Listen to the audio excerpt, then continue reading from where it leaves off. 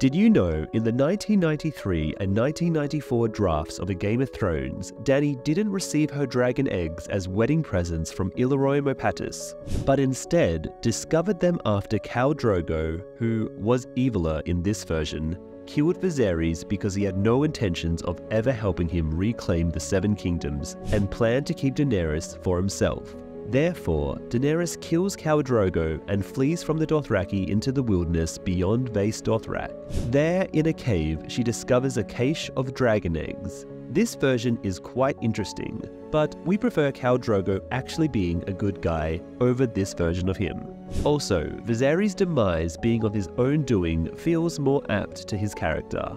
Next, the dragon eggs hatching from Khal Drogo's funeral pyre is such a memorable end to the book that we definitely prefer the version George R. R. Martin went ahead with. Anyway, subscribe for more.